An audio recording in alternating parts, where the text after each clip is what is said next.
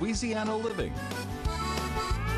And welcome back. I'm here with Barry Stevens, President and CEO of the Arts Council of Northeast Louisiana, to talk about one of the best parties in the spring, Blend.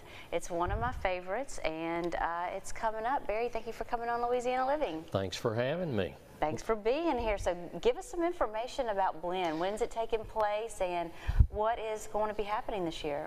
Blend, April 30th, Sunday, April 30th from Uh-huh. 5 to 8.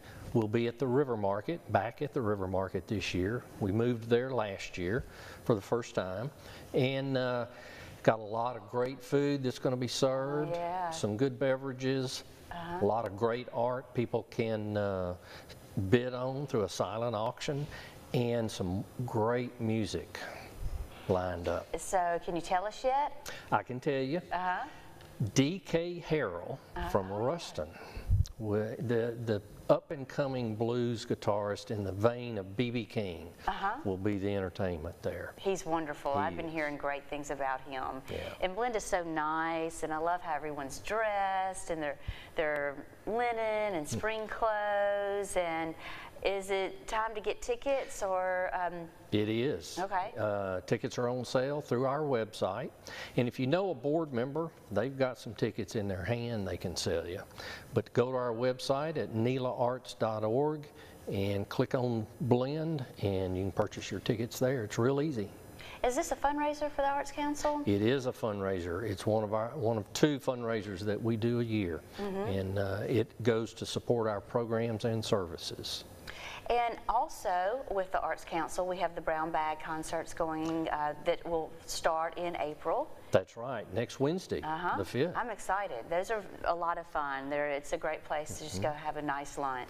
Free to the public. Just come sit out in Palace Park, downtown Monroe, and listen to some really good music, and uh, enjoy the good weather in April. Mm -hmm. and they have nukes there for a sandwich for six dollars and lawn chairs, or you can bring your own lawn chair if you like. You, y'all have a few chairs uh, set up, and then parents with children bring out their blankets, and it's just a lot of fun. It really is, uh, and some, you know, some great music. We've got a, a great lineup this year. Can you give us a couple examples?